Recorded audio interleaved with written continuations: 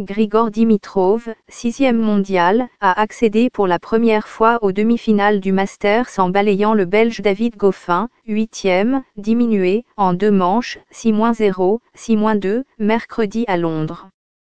Le Bulgare est le deuxième joueur qualifié après le numéro 2 mondial Roger Federer, qui a assuré sa place mardi en battant l'Allemand Alexander Zverev.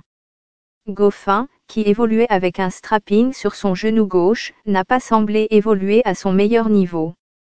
Le Wallon avait dominé lundi le numéro 1 Raphaël Nadal, qui avait déclaré forfait pour le reste de la compétition à cause d'une blessure au genou droit. Il fera face vendredi dans un match décisif pour la qualification pour le dernier carré à l'Autrichien Dominique Thiem.